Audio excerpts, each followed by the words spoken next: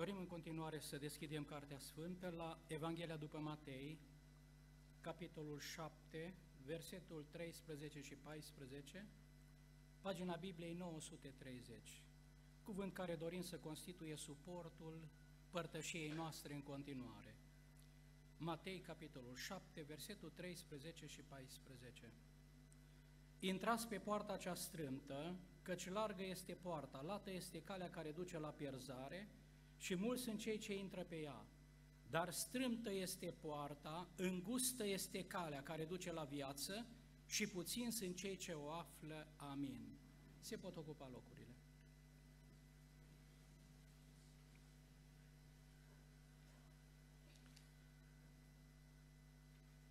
Am înțeles că dumneavoastră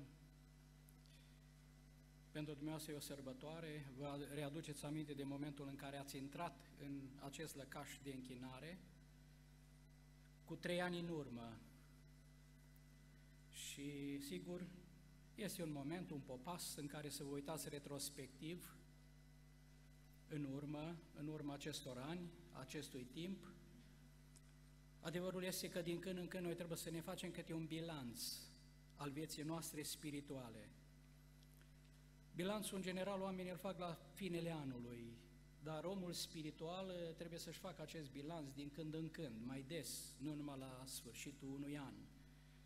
Când multe lucruri nu le mai poți rezolva, nu mai le poți readuce la standardul dorit. Omul lui Dumnezeu spune de bună oară, David, a fost împărat, și la un moment dat, uitați ce spune în Psalmul 139 în această idee. Cercetează-mă, Dumnezeule, și cunoaște minima. Încearcă-mă și cunoaștem gândurile. Zice, vezi dacă sunt pe o cale rea și dumă pe calea veșniciei. Cum s-ar putea să fiu pe o cale rea și eu să nu o realizez? Da. Tot timpul trebuie să ne facem un bilanț și totul raportat la cuvânt, racordat la Biblie, la cele scrise. Filtru pe care noi îl avem este numai Biblia, Cuvântul Domnului, Cuvântul lui Dumnezeu. De aceea, în această după masă, noi ne readucem aminte și mă gândeam aici, printre altele, să amintesc ceva vis-a-vis -vis de această idee. Vreau să vă spun că noi avem uh, un standard despre care o să mai amintesc, o să mai vorbesc în seara aceasta, la vremea potrivită, și standardul nostru este aici, când e vorba de o biserică locală sau Biserica Domnului, avem un standard. Standardul e aici, biserica pe care noi avem ca model în Cuvântul lui Dumnezeu. Sigur, multe se pot spune despre această biserică pe care noi avem ca model, dar printre altele, uitați ce spune Biblia despre această biserică. Și aici trebuie să ne uităm tot timpul, că atunci nu vom fi mulțumiți. E foarte periculoasă această latură de automulțumire să, fii auto, să te automulțumești. Uneori sunt oameni care se măgulesc, se, se leagănă, se lasă legănați de anumite șoapte și, sigur, când te trezești, este prea târziu. Spune de bună oară despre standardul acesta, fapte capitolul 9, versetul 31. Biserica se bucura de pace în toată Iudea, Galileea și Samaria. Apoi un al doilea lucru, se întărea sufletește. Biserica trebuie să întărească sufletește, ea trebuie să crească. Apoi spune, umbla în frica Domnului. Biserica umblă, nu e statică. Biserica adevărată nu sunt zidurile. Asta e locul unde se adună adevărata biserică. Și apoi spune aici, și cu ajutorul Duhului Sfânt, când omul, biserica, își face partea, atunci Domnul, sigur, este Cel ce lucrează. Apropo de dorința frumoasă și binecuvântată, și asta trebuie să fie, ca Domnul să facă o, să revoluționeze Reșița, să aducă încă multe suflete. Eu cred că de aia Domnul v-a ajutat aici să construiți acest lăcaș pentru slava și gloria Lui, ca multe suflete încă să-L găsească pe Domnul, Dumnezeu să se proslăvească.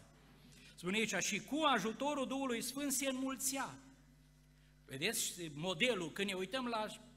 Aici e modelul. În cuvântul lui Dumnezeu, când ne uităm la alte biserici, din vremea noastră, biserici locale, ori putem să cădem în latura automulțumirii sau la un moment dat să ajungem într-o altă extremă. Deci e foarte periculos. Întotdeauna aici trebuie să ne uităm. Atunci niciodată nu vom fi mulțumiți. Vom tinde la mai mult. Vom dori mai mult. Apoi aici ne arată Cartea Sfântă în vremea aceea, pentru că standardul era atât de înalt, ne spune Biblia, pe când cerceta Petru pe toți sfinții, s-a pogorât la cei ce locuiau în Lida. Acolo o găsit pe un om, Enia, care zicea, zăcea de opt ani o log în pat. Enia i-a zis Petru, Iisus Hristos te vindecă, scoală-te și fă patul. Și Enia s-a sculat îndată. Aici spune, toți locuitorii din Lida și din Sarona l-au văzut și s-au întors la Domnul. Ce standard înalt biserica. Biserica, încă o dată, se bucura de pace în toată Iudeea, Galileea și Samaria. Un al doilea lucru, se întărea sufletește. Un al treilea lucru, umbla în frica Domnului și cel de-al patrulea, cu ajutorul Duhului Sfânt se mulțea. Și în vremea aceea, în vremea aceea, ne spune Biblia, erau lucrări extraordinare. Standardul înalt, dar și oamenii pe talie, pe măsură.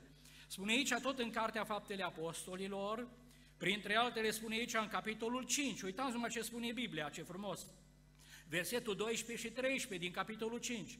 Prin mâinile apostolilor se făceau multe semne și minuni în orot. Toți stăteau împreună în pridvorul lui Solomon și niciunul din ceilalți nu cuteza să se lipească de ei, dar norodul îi lăuda în gura mare.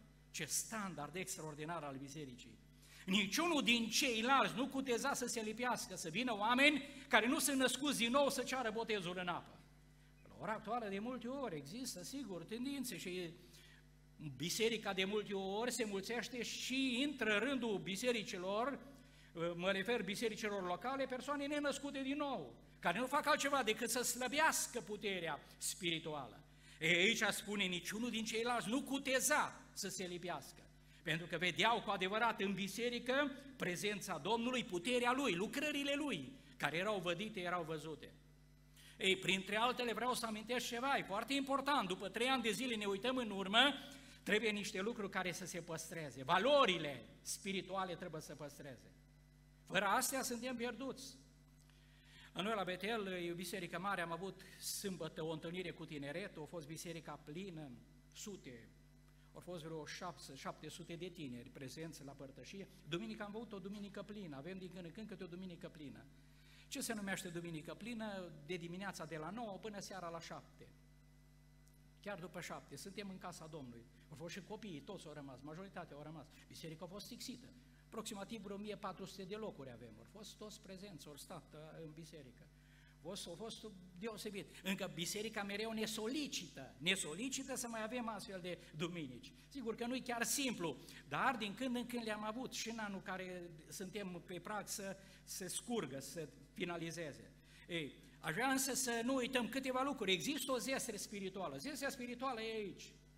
Sunt lucruri care trebuie păstrate, cultivate și care trebuie întreținute neapărat. Dacă astea le-am pierdut, am pierdut, am pierdut valoarea, am pierdut esența.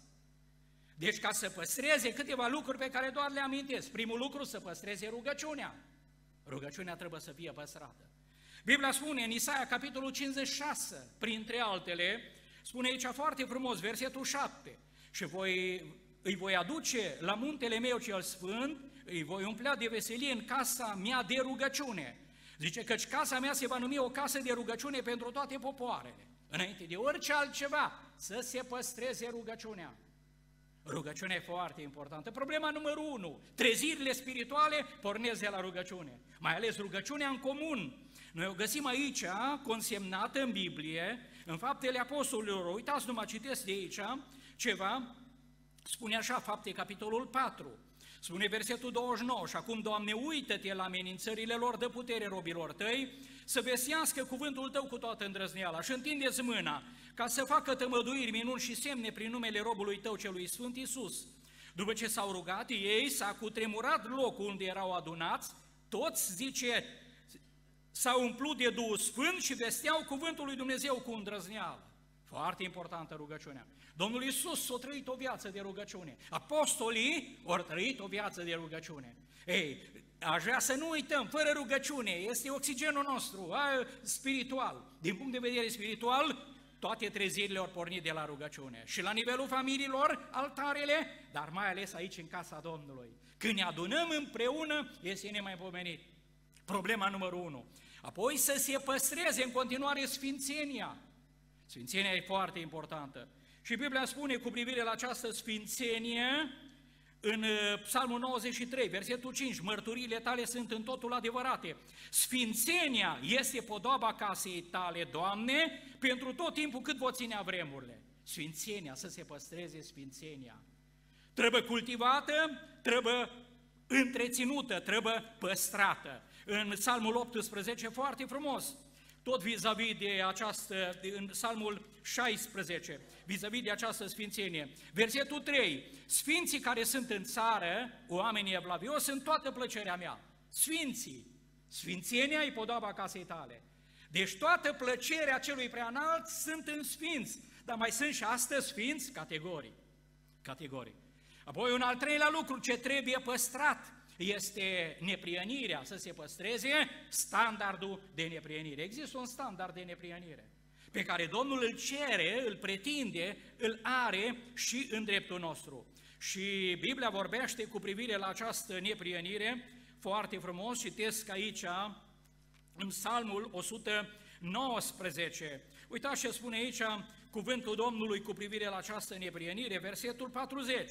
Iată, doresc să împlinesc poruncile tale, fă să trăiesc în neprihănirea cerută de tine.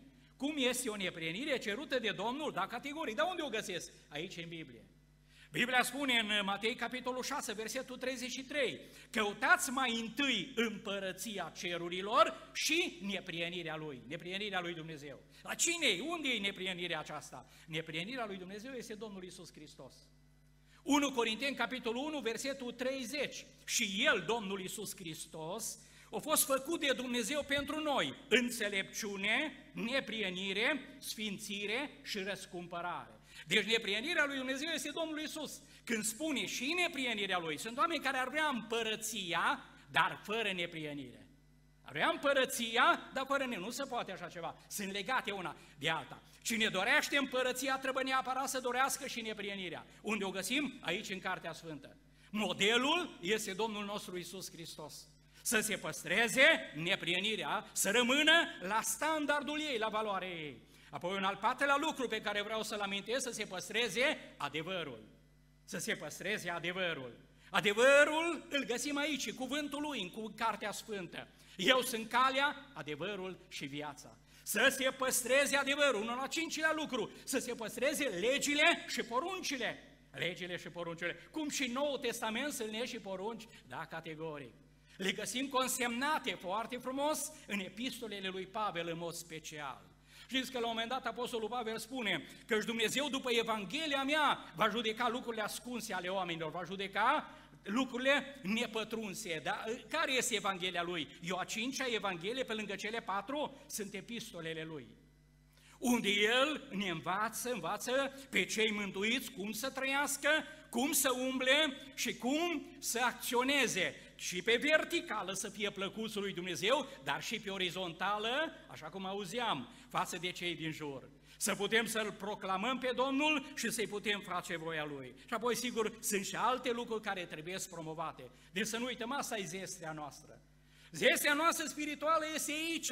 Asta trebuie întreținută, tot timpul să o avem în vedere. Asta înseamnă că tot timpul încercăm pe El să-L înălțăm în viața noastră. Și locul numărul unu pe care îl are este a Lui. Nimeni nu poate de aia Biblia spune, zice, slava mea nu o dau altora, el nu acceptă, slava lui este numai lui, nu, nu, nu e admis să fie știrbită slava Domnului Isus Hristos. Locul lui este a lui și îmi place să amintesc uneori, toți avem locurile noastre. Dumneavoastră aveți locurile dumneavoastră, frații lucrători au locurile lor, corul își are locul lui. Dar vreau să spun că dincolo de toate și Domnul își are locul lui. Unde este locul lui? În centru. El este cel ce este la pupitru de comandă. El vrea să conducă. El vrea să dirigeze. De aceea rugăm, Doamne, lasă Duhul Tău să fie prezent în biserică. Și Duhul Tău să lucreze pentru slava Ta și pentru gloria Ta. Intrați pe poarta cea strâmtă, căci largă e poarta, lată calea care duce la pierzare și mulți sunt cei ce intră pe ea. Dar strâmtă este poarta, îngustă este calea care duce la viață și puținți sunt cei ce intră pe ea, cei ce o află. În Evanghelia după Luca, la un moment dat, ne spune tot în această idee, foarte frumos cuvântul Domnului, la un moment dat ucenicii, cei din jurul Domnului, lor întrebat, Doamne, Oare mulți sunt cei ce sunt pe calea aceasta? Spune așa, cineva i-a zis, Doamne, oare puțin sunt cei ce sunt pe calea mântuirii? El a răspuns, nevoiți-vă să intrați pe ușa cea strâmtă. Căci vă spun că mulți vor căuta să intre și nu vor putea. Odată ce stăpânul casei se va scula și va încuia ușa și voi veți fi afară și veți începe să bateți la ușă, să ziceți, Doamne, Doamne, deschide-ne! Drept răspuns, El va zice, nu știu de unde sunteți. Deci am vrea să nu uităm, ușa aceasta încă este deschisă. Ea este strâmtă, dar în același timp suficientă ca să avem acces fiecare dintre noi. Dar în seara aceasta vom vedea cum putem să intrăm pe această ușă. Această ușă, sigur, noi știm cine este, este Domnul nostru Isus Hristos. Și înainte de oriceva, altceva, de orice amănunt, vreau să subliniez, în împărăție, noi nu putem intra decât prin Domnul Isus Hristos. El e poarta de intrare în împărăție. În Evanghelia după Ioan ne spune aici, în capitolul 10, foarte frumos, cuvântul Domnului consemnează acest adevăr. Și uitați ce spune aici, versetul 7. Eu sunt ușa oilor. Versetul 9.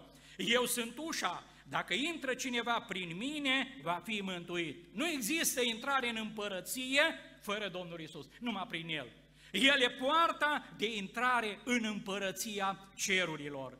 Știți ce a spus Domnul Isus? Împărăția cerurilor nu vine așa ca să izbească privirile. Nu se va spune, uite aici sau uite acolo, că iată că împărăția cerurilor este înăuntru vostru.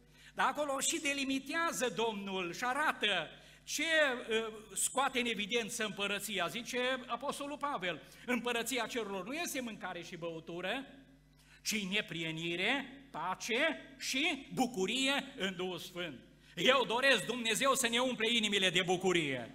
Nu pot să am bucurie dacă nu-i mai întâi neprienire, pace și apoi bucurie în Duhul Sfânt. Și apoi încă un lucru pe care îl consemnează Pavel în epistola lui, în 1 Corinteni, capitolul 4, versetul 30 spune Împărăția cerului nu, nu stă în mâncare și băutură, ci în putere. Împărăția cerului nu stă în vorbe, ci în putere putere, putere de abstinență, putere de trăire, putere de împlinire a voiei celui preanalt. De aceea eu doresc, Doamne, ajută-ne să urmărim împărăția cerurilor. A urmări împărăția cerului înseamnă a mă uita atent la viața Domnului, a încerca să-L urmăresc și, sigur, prin El ca să pot ajunge în împărăție. Fără El nu pot ajunge. În Ioan, capitolul 17, la un moment dat, Domnul spunea, și zice, viața veșnică este aceasta. Să te cunoască pe tine singurul Dumnezeu adevărat și pe Isus Hristos pe care l-ai trimis tu. Viața veșnică sau împărăția lui Dumnezeu. Viața veșnică este aceasta, să te cunoască pe tine, singurul Dumnezeu adevărat și pe Iisus Hristos pe care l-ai trimis tu. În Ioan capitolul 5, versetul 39 spune acolo, printre altele, zice, cercetați Scripturile, pentru că considerați că în ele este viața, dar însă și ele, Scripturile, mărturisesc despre mine, despre El, despre Domnul Isus Hristos.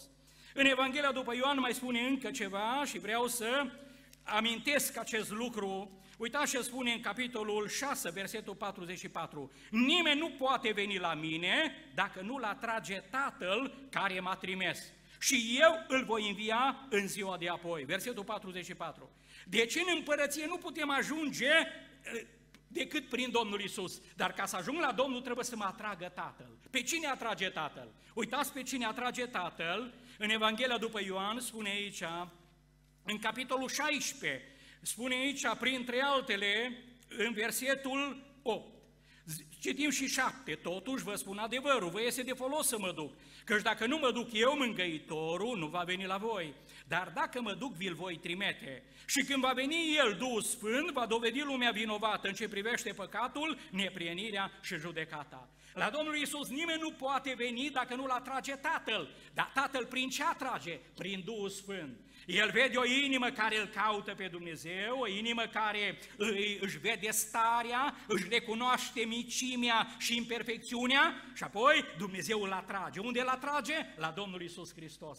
El este poarta de intrare în veșnicie. În Ioan, în capitolul 14, aici ideea este întărită în versetul 6. Iisus i-a zis, eu sunt calea, adevărul și viața. Nimeni nu vine la Tatăl decât prin mine. El e poarta de intrare în împărăția cerurilor. Revenind la textul nostru, intați pe poarta cea strâmtă. Poarta strâmtă este Domnul Isus. De aia spune în 1 Ioan capitolul 2, versetul 6, cum a fost El în lumea aceasta, așa suntem și noi.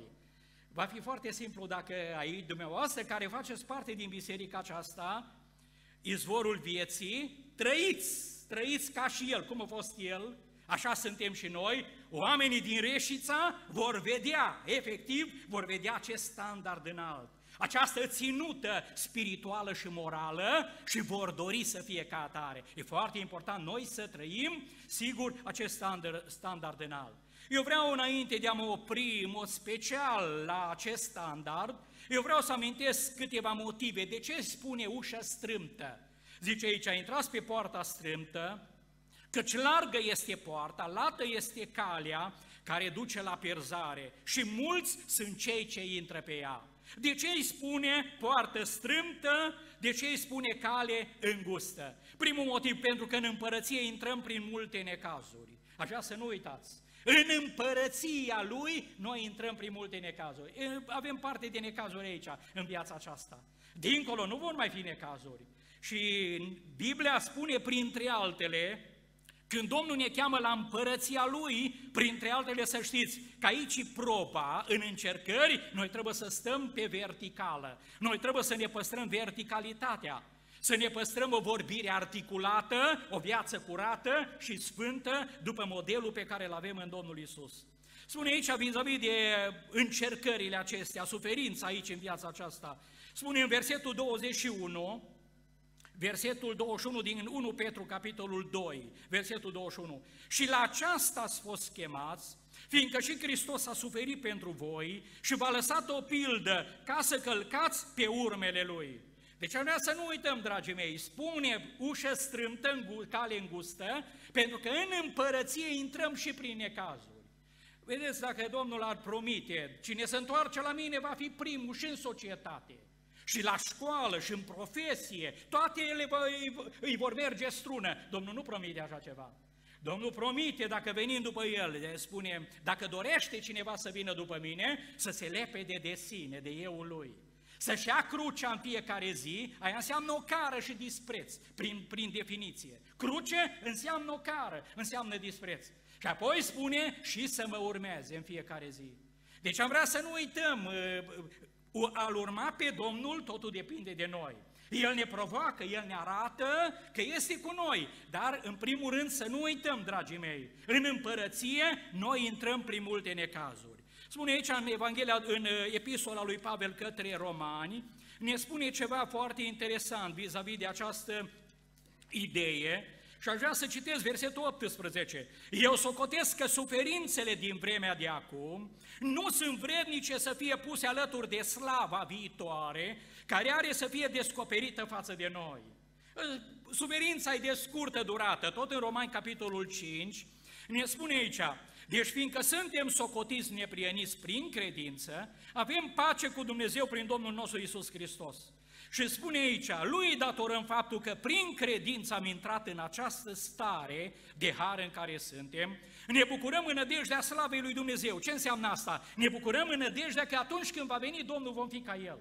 Știți ce spune în 1 Ioan, capitolul 3, versetul 1 și 2? Preiubiților, acum suntem copii al lui Dumnezeu.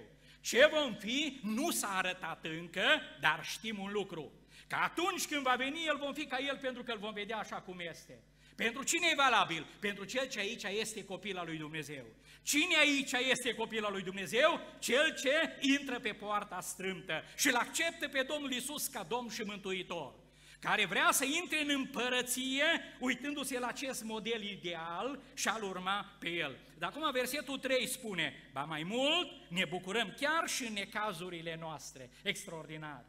Nu ne bucurăm de necazuri, ci în necazuri ne bucurăm, pentru că Domnul necazul este cu noi, El nu ne lasă singuri. El este Cel ce vine, îngăduie necazul, El ne ajută în necaz, El ne dă biruință și în final ne va și răsplăti, pentru că am rămas consecvenți și am rămas pe verticală. De aceea doresc această biserică, izvorul vieții, Dumnezeu să o binecuvinteze. Doamne, ajută-ne să rămânem credincioși în toate situațiile și în toate momentele. Un al doilea motiv, de ce îi spune ușă, poartă strâmtă, cale îngustă? Pentru că intrarea prin pocăință, prin credință, prin sfințenie, niciodată n-au fost la modă. Niciodată nu au fost acceptate. Orice să-i spui omului, dar când îi vorbești de pocăință, are repulsie. Are o repulsie oamenii din afară. La ce nu sunt bine, nu pot, nu poți fără pocăință. Asta e filiera. Cine zice acolo foarte frumos Cartea Sfântă, în fapte, capitolul 20, versetul 21.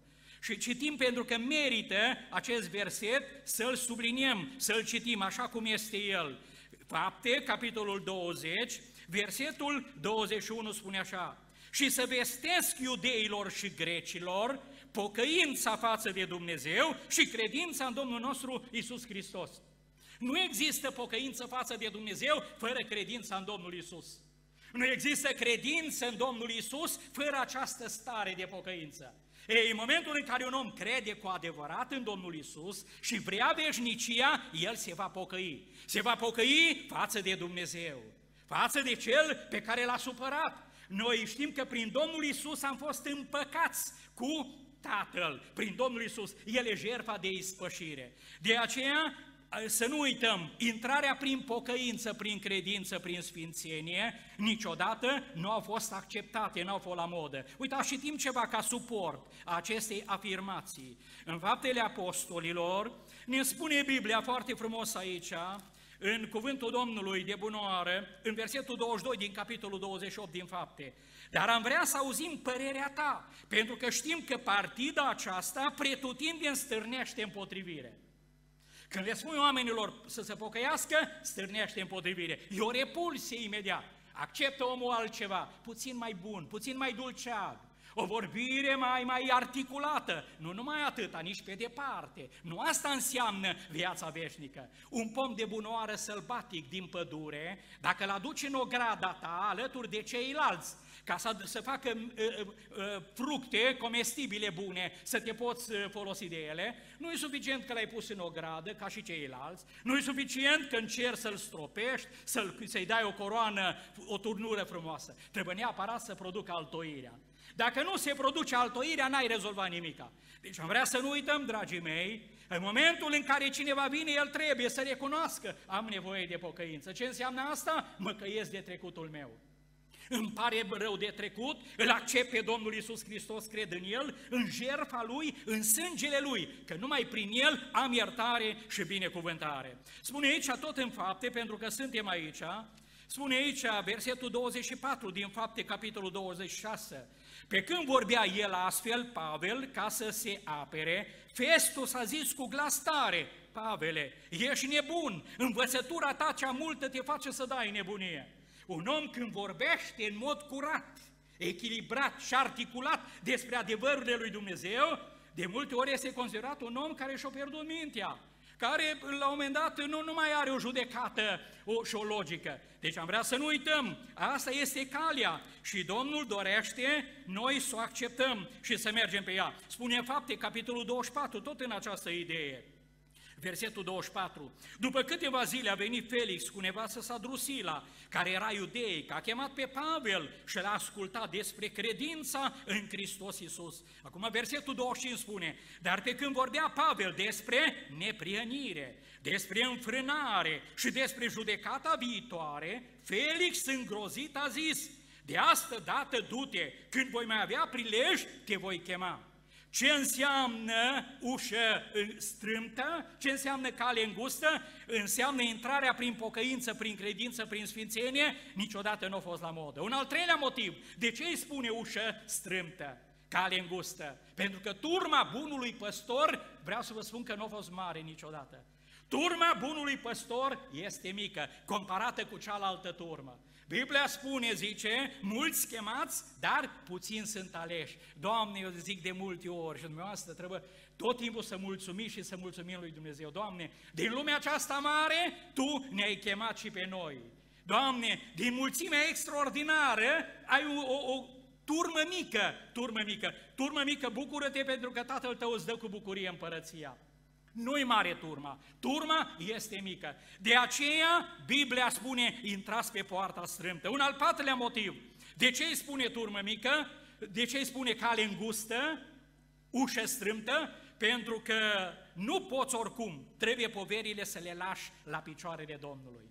Nu poți. E atât de îngustă calea și strâmtă poarta, încât nu poți cu o încărcătură. Și nu, nu două persoane, niciodată nu pot două să intre, fiecare în mod individual. Mântuirea este personală. Mama nu poate mântui copilul, nici tata nu poate mântui fiica. Fiecare în mod individual, fiecare în dreptul lui.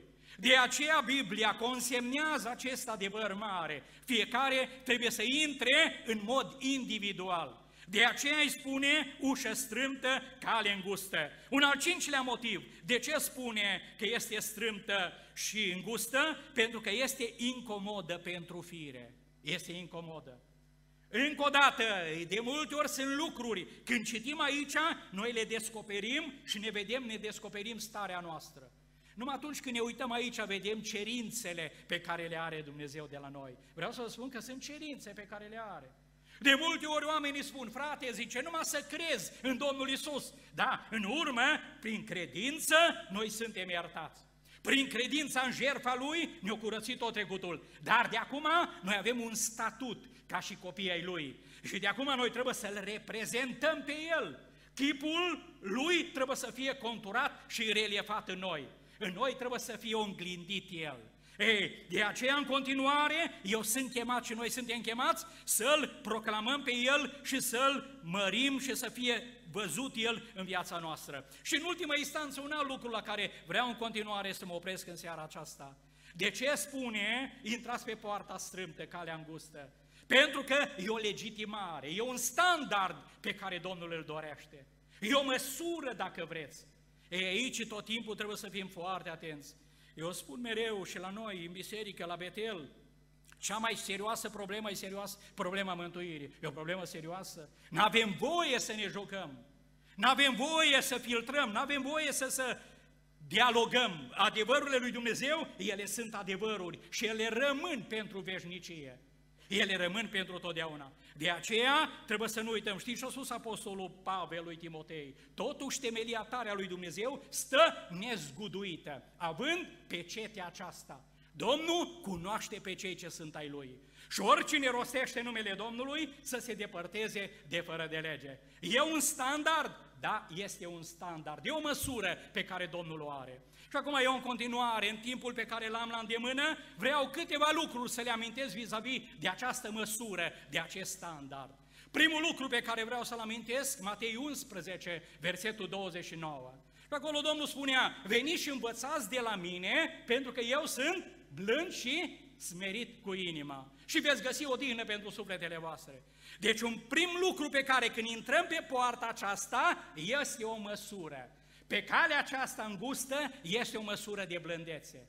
O măsură de blândețe. E foarte importantă blândețea. Și am început pentru că Domnul spunea, pentru că eu sunt blând și smerit cu inima.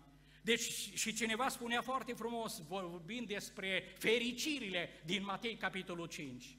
Acolo spune prima treaptă a fericirii, ferice de cei săraci în Duh. Nu ferice de cei săraci cu Duhul, ci de cei săraci în Duh. A fi sărac în Duh înseamnă a fi un om smerit. Un om care să-ți recunoști starea, să-ți vezi micimea. Un altul spunea, un mare om al lui Dumnezeu, terenul de unde cresc toate virtuțile posibile este smerenia.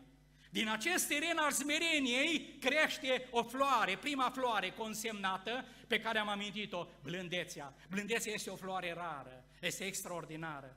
Dar ca să crească, spune acolo, cea de-a doua treaptă a fericirilor, ferice de cei ce plâng căci ei vor fi mângăiați. Trebuie lacrimile pocăinței, ploaia, să ude terenul acela al smereniei ca să poată crește această floare rară.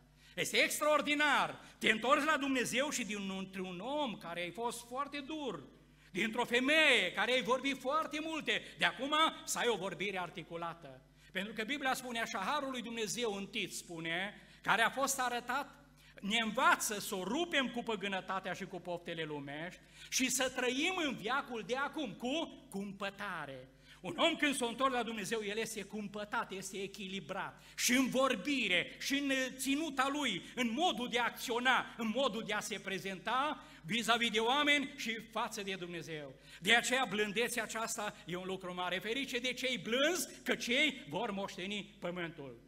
Cei blânzi moștenesc țara și au belșug de pace, spune Biblia. Biblia îl scoate în evidență pe Domnul Isus. Dar îmi place mult vis-a-vis de blândețe ceva. Spunem Psalmul 40, printre altele, așa. Zice, războinic viteaz, încinge sabia, podoaba și slava. Aici vorbește despre Domnul Isus Hristos, fiul lui Core, în Psalmul 40. Zice, suiete în carul tău de luptă și apără adevărul, blândețea și neprienirea. Și dreapta ta să strălucească prin isprăvi minunate. Apără blândețea. Blândețea nu se poate apăra. Știți de ce noi suntem comparați cu o turmă de oi? Ați văzut vreo oaie care să apere ea pe ea, nici vorbă. Turma nu se poate apăra. Cel ce apără turma este marele păstor. Este marele războinic cu viteaz. Marele războinic și acesta este Domnul Isus Hristos. Cel ce merge în fruntea turmei este Domnul Isus Hristos. Ce frumos! Cât timp îl las pe El să mă apere, El are metodele Lui de a mă apăra, are armele Lui. Este extraordinar. Să știi că spatele ți este asigurat de Dumnezeu și înaintarea ta că El te apără și El este cu tine. Nu v-ați spus întrebarea de ce biserica au rămas de 2000 de ani? Au rămas pe verticală. Au fost împărății puternice. În vremea împăraților romani, împărății care au venit și s-au dus. Împărați sisteme sociale și la noi în țară au venit și s-au dus, au consumat și nu mai sunt. Dar biserica au rămas pe verticală. Au rămas pentru că este a lui. Cel ce o apără este marile păstor, este războinicul viteaz. Doamne, vrem Tu să ne aperi să fii apărătorul nostru. Să nu încercăm noi să ne apărăm, că în momentul acela apar tot felul de stări tensionate, Doamne, tot felul de răni și de vânătăi. Aici doar un exemplu, Moi, să știți ce spune Biblia despre el, că a fost cel mai blând om de pe fața pământului. Și la un moment dat până și sora și fratele lui de corp au vorbit împotriva lui, Maria Sharon. Dar să nu a auzit. Este extraordinar să nu auzi vorbele când sunt vorbe de rău în jurul tău. Un om adevărat care încă este a Domnului nu aude, este imun la vorbele rele. Când e vorba de laudă, să nu te umfli, ci nici, nici pe alea să nu le auzi. Să auzi numai ce trebuie să auzi.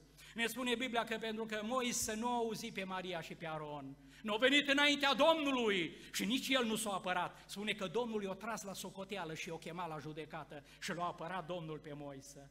Ce frumos să fim oameni ai Domnului, care să-L reprezentăm cu demnitate pe El.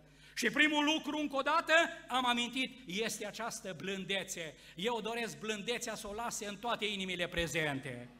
Doamne, ce frumos într-o familie, bărbați. Eu uneori mai spun la noi, unei femei nu-i așa de bine să nu fie blândă. Unei femei. Când vezi femei care vorbesc multe, numai cu, cu nourile, la în dreptul altora, tot astea sunt interesate de tot felul de știri, nu în ordine. Dacă vezi câte o femeie blândă, liniștită, Asta e podoaba despre care spune Petru în dreptul surorilor. Este extraordinar. Dacă vezi câte un bărbat, mai ales dacă are o ținută impunătoare și în, înainte de a se întoarce la Domnul, a fost un om care amenința. După ce s-a întors, este ca un miel blând, ca o, după modelul ideal, după Domnul Isus, cum a fost Domnul, așa va fi și El. Eu doresc încă o dată Domnul să dea blândețe tuturor. Un al doilea lucru pe care vreau să amintesc este smerenia. Un al doilea standard, o a doua măsură. Intrați pe poarta strâmtă, pe calea îngustă. Ce înseamnă asta? O măsură, o măsură de smerenie. Dacă nu vom atinge și nu vom avea măsura de blândețe, apoi măsura de smerenie, vreau să vă spun că e un semn de întrebare. Ca să intru și să rămân a lui în continuare, trebuie să am acest standard, această măsură de smerenie. Smerenia, încă o dată, este o lucrare. Domnul spunea, eu sunt blând și smerit cu inima. O smerenie din lăuntru care pornește spre exterior. Se, se exteriorizează, dar dinăuntru, dintr-o inimă, inima mai întâi smerită. Și apoi cine e cu inima smerită, foarte ușor să fie smerit în atitudinea lui. În vorbirea lui, totul va fi sub control și sub călăuzire. Smerenia este un lucru binecuvântat. Despre smerenie multe se pot spune, amintesc doar ceva, câteva versete. Foarte frumos spune în Psalmul 119. Versetul 67 spune așa, până ce am fost smerit, adică până ce nu m-am smerit, rătăceam. Un om până nu se smerește să se recunoască, rătăcește. Poți să ai chiar Biblia în mână, să vii la o biserică locală. Dacă nu ne smerim, putem să rătăcim. Dar acum, zice, păzesc cuvântul tău. Versetul 71 spune, este spre binele meu că m-ai smerit, ca să învăț orânduirile tale. Versetul 75, știu, Doamne, că judecățile tale sunt drepte, din credincioșie mai smerit. E un mare lucru să fii un om smerit. Un om smerit ăla e atent la tot, la tot ce face, la toate acțiunile, la toate gesturile lui. Uitați ce spune de bunoară în Psalmul 25 vis-a-vis de această idee. Spune aici așa, versetul 8 și 9, Domnul este bun și drept, de aceea arată El păcătoșilor calea. Și acum atenție, versetul 9, El face pe cei smeriți să umble în tot ce este drept. Pe cei smeriți, nu pe toți. El îi face pe cei smeriți să umble în tot ce este drept. El învață pe cei smeriți calea sa. De un om care se smerește, Domnul se ocupă de creșterea lui spirituală. Domnul se ocupă de creșterea lui spirituală și Domnul este cel ce îl binecuvintează. Uitați ce spune în Proverbe, versetul 22, vers, capitolul 22, versetul 4. Răsplata smereniei și a fricii de Domnul este bogăția, slava și cinstea. Extraordinar. Răsplata smereniei și a fricii de Domnul. Bogăția, slava și viața. Tot vis-a-vis de această smerenie. Uitați ce spune prorocul Țefania în Cartea Sfântă, printre altele, la un moment dat aici, și vreau să citesc. Spune în cuvântul Sfânt Sefania, capitolul 2, versetul 3, Căutați pe Domnul toți cei smeriți din țară, care împliniți poruncile Lui. Cine sunt cei smeriți? Care împliniți poruncile Lui. Căutați dreptatea, căutați smerenia, poate că veți fi cruțați în ziua mâniei Domnului. Iar în capitolul 3, versetul 12, voi lăsa în mijlocul tău un popor smerit și mic. Bucură-te, turmă mică! Care este turma mică? Zice, voi lăsa în mijlocul tău un popor smerit și mic, care se va încrede în numele Domnului. Ce frumos, smerenia e o podoabă mare. Smerenia este o podoabă mare și e valabilă și la cel mic și la cel mare și la cel tânăr și la cel bătrân. De aceea doresc și în această biserică Dumnezeu să ne împodobească pe toți cu smerenie. Doamne, ajută-ne să o urmărim, trebuie să o urmărim smerenia.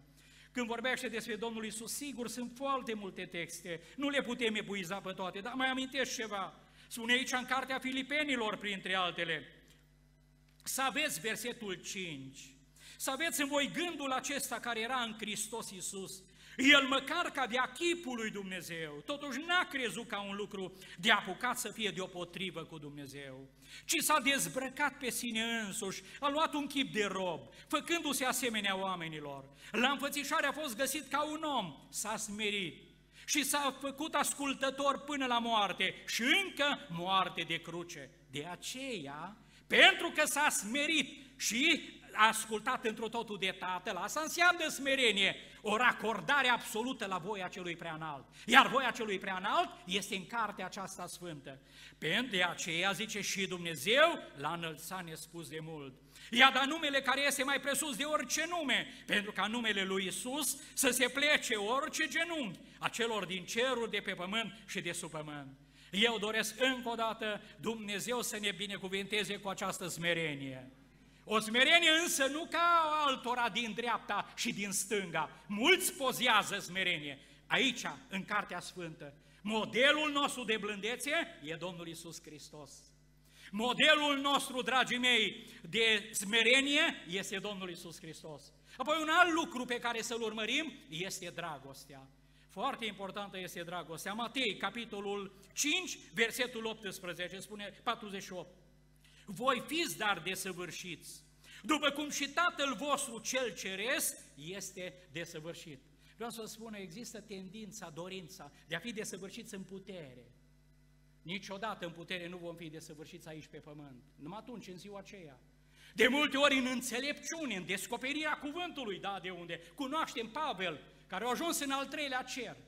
A ajuns acolo, prin Pavel se făceau minuni deosebite, bazmale și șorțuri, atinse de trupul lui Pavel, duse la distanță, puse peste bolnavi și bolnavii erau vindecați. Și el spune, cunosc în parte și știu în parte. Totul era în parte viața lui. Acest în parte într-o zi se va termina, se va încheia. Dar totuși ceva ne cere Dumnezeu aici de săvârșit. Voi fiți desăvârșiți. E, aici știți ce vorbește? Despre iubirea vrăjmașului, suferirea răului. Și când vorbește aici de dragoste, spune, voi fiți dar desăvârșiți, după cum și Tatăl vostru cel ceresc este desăvârșit. La capitolul dragoste, aici se cere desăvârșire de aici.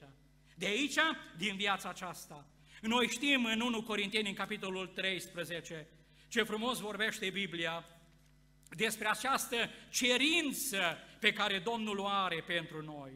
Spune așa, și chiar dacă m-aș împărți toată averea pentru hrana săracilor, chiar dacă mi-aș da trupul să fie ars și n-aș avea dragoste, nu folosește la nimic.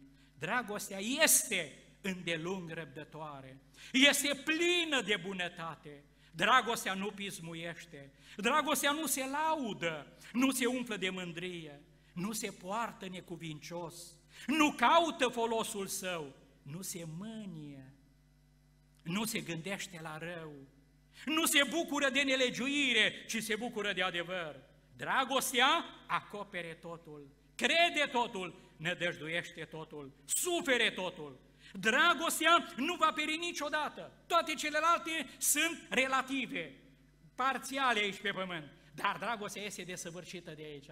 Și acest lucru Domnul ne-l cere. Intrați pe poarta strâmtă pentru că e o măsură de dragoste. Și Domnul ne cere și nouă e un imperativ.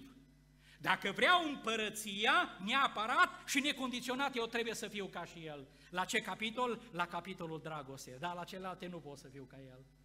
Dar la dragoste mi se cere să fiu ca El. Acum, vis-a-vis de aceasta, e sigur, idee, de această cerință, doar ceva vreau să amintesc.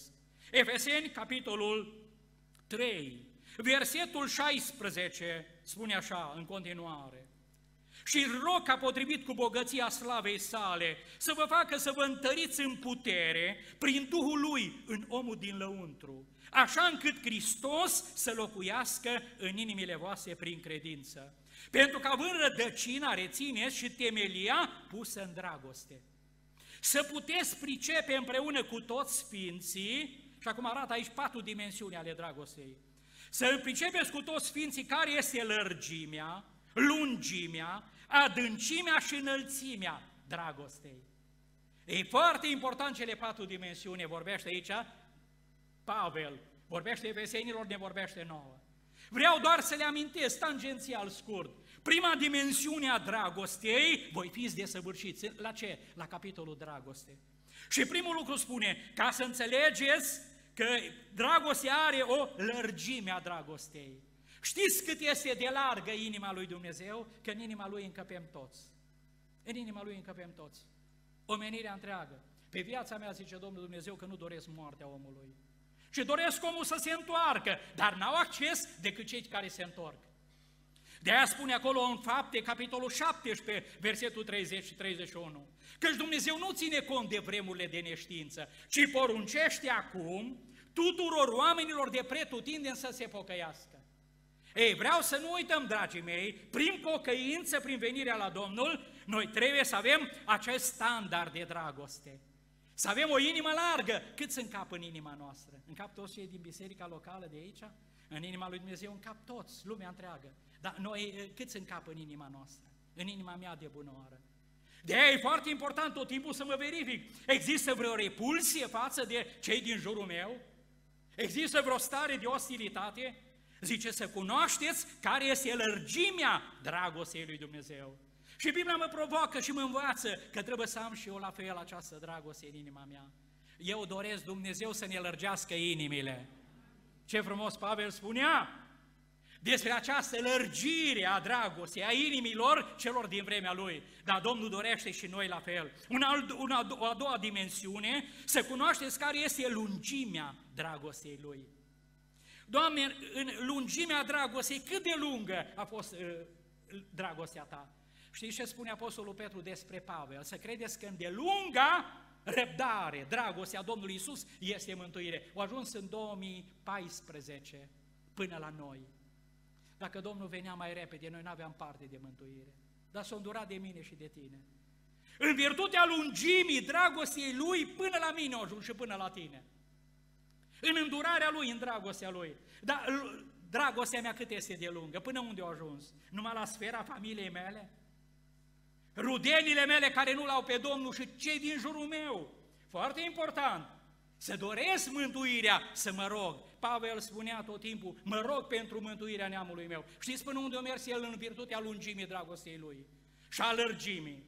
Pavel spune că ce aproape că doresc eu însuși să fiu anatema, despărțit de Hristos. Pentru frații mei, pentru rudele mele trupești. Dar nu a putut mântui pe nimeni, că nimeni nu poate mântui. Singurul care de aia spune Biblia în fapte, capitolul 4, nu e un alt nume dat oamenilor în care să fie mântuiți. Singurul nume care, în care se poate mântui și mântuiește este numele lui Isus Hristos. De aceea în seara aceasta, Doamne, ajută-mă să am o lungime a dragostei, după standardul pe care Tu l-ai pentru mine și l-ai pentru noi. O a treia dimensiune a dragostei, să cunoașteți care este adâncimea dragostei lui Dumnezeu. Doamne, cât de adânc a fost dragostea Ta? Citim ceva din Psalmul 40 de bunoară. Uitați ce spune aici omul lui Dumnezeu David, el vorbește. Îmi pusesem nădejdea în Domnul și El s-a plecat spre mine, mi-a ascultat strigătele, m-a scos din groapa pe irii, din fundul mocirlei. Acolo eram, în fundul mocirlei. Și o coborât Fiul lui Dumnezeu în lumea aceasta. O coborât și s-a ocupat personal și individual de mine, m-a curățit.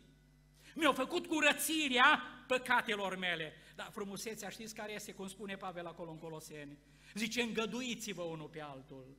Și dacă unul are pricină să se plângă de altul, iertați-vă unul pe altul. Cum? După cum și Dumnezeu vă ierta pe voi în Hristos. Știți cum ne-a iertat pe noi? Niciodată nu mi-a mai readus aminte de ceea de trecutul meu. Până când m-am întors, tot o m-a iertat.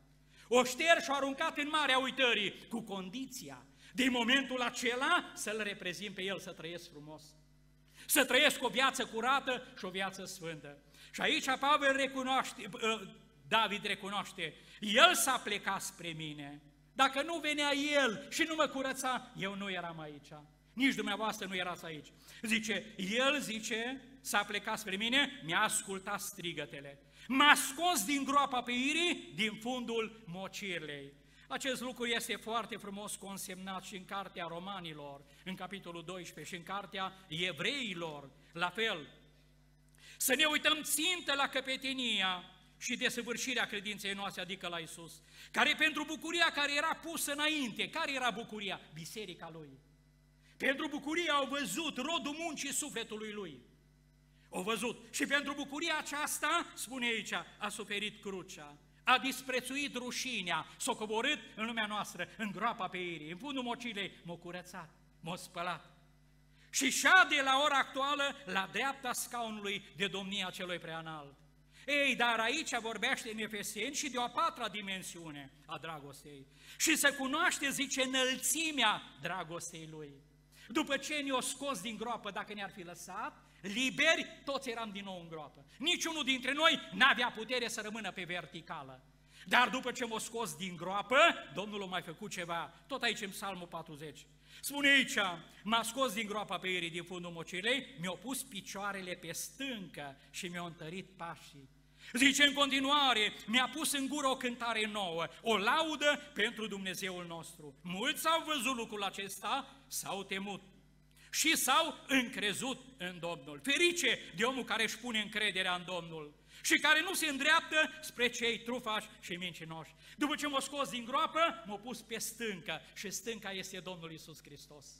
Pe stânca aceasta unde am garanția biruinței Lui. Ei, trebuie să rămân pe stâncă.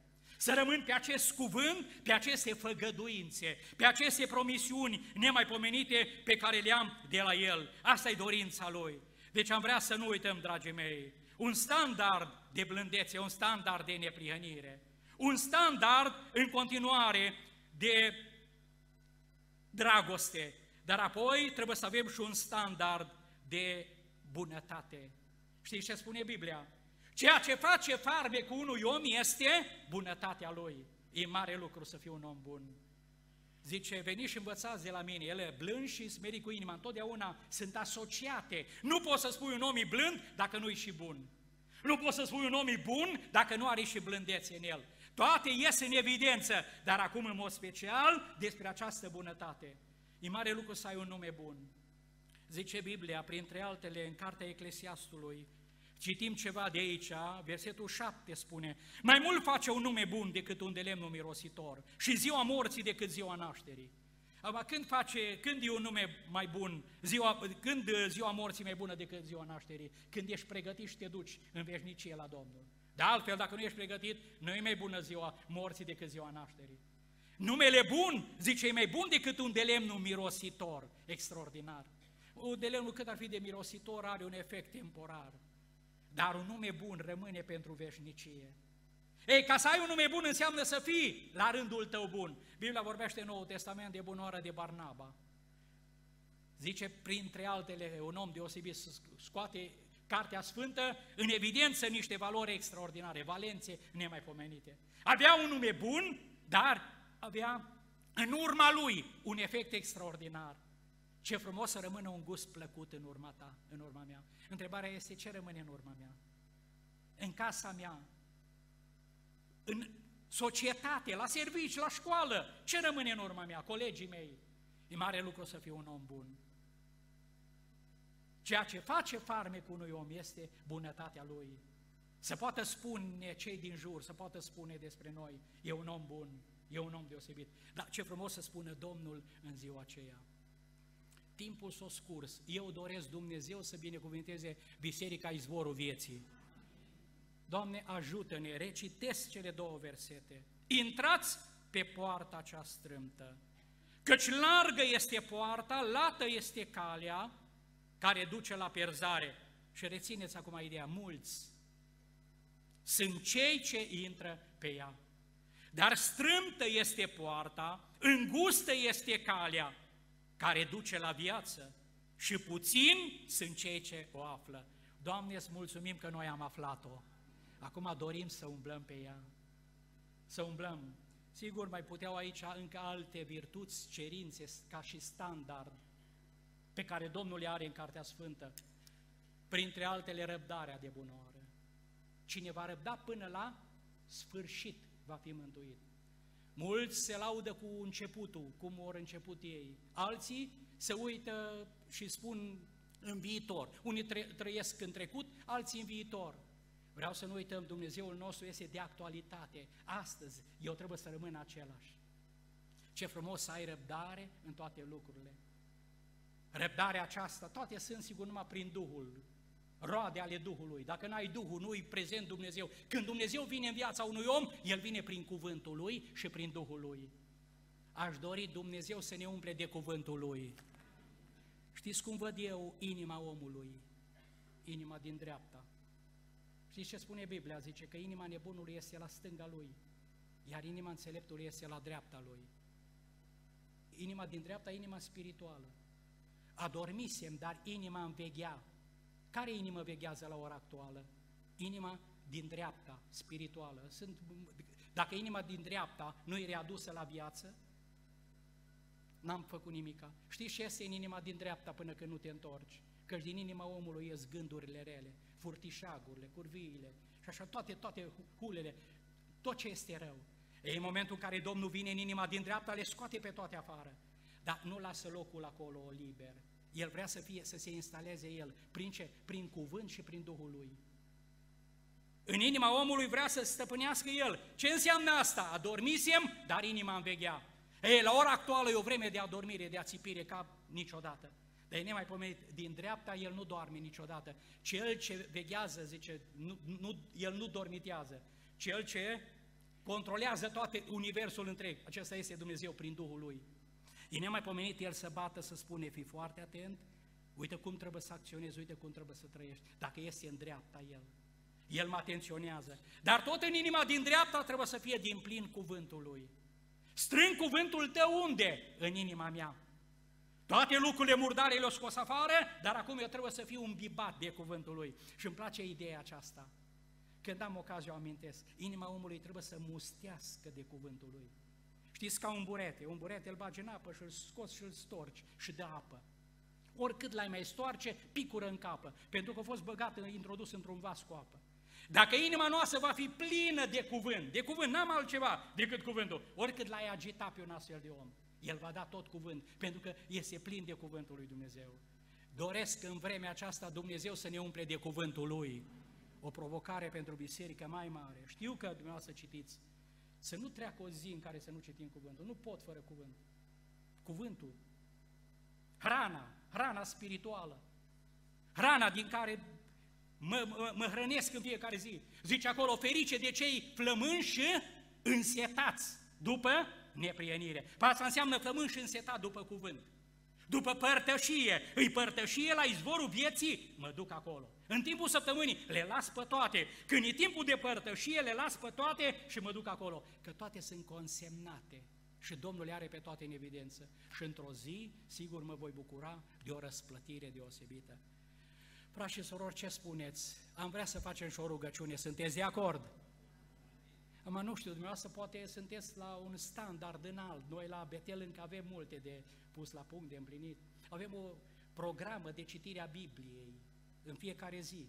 Să o citi Biblia anul acesta cu toată biserica. Și copiii o citesc. Eu am acasă cu mine, am 25, 24 de nepoți, vine al 25-lea nepot, dar uh, printre alții am acolo 9 nepoței care sunt cu mine acolo unde locuim. Și ce să spun că ea mai mari, toți, începând de clasa 1, a 2, a 3, a 4, citesc Biblia în fiecare seară, părtășie.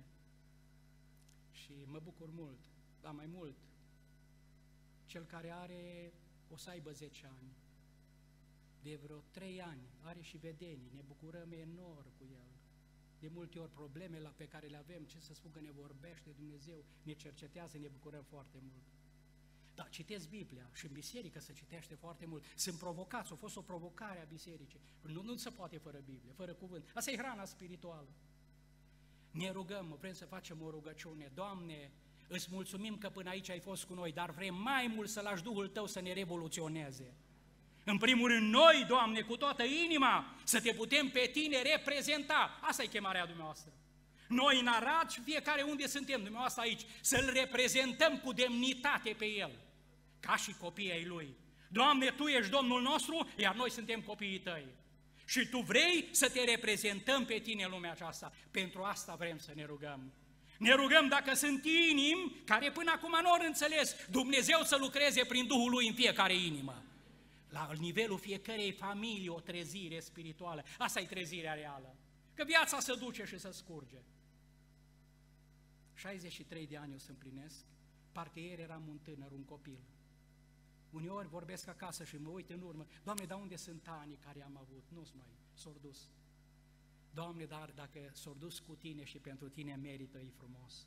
Să n-ai regrete este extraordinar. Sigur, nu înseamnă că am făcut tot ce trebuia, dar oricum îi mulțumim lui Dumnezeu. Vrem să ne ridicăm în picioare, să intrăm într-o rugăciune, iar frații vor mai aminti ce au de amintit pentru această rugăciune sau după această rugăciune și Domnul să asculte și Domnul să fie cu noi. Amin. Ne rugăm cu toții și insistăm în mijlocire. Amin.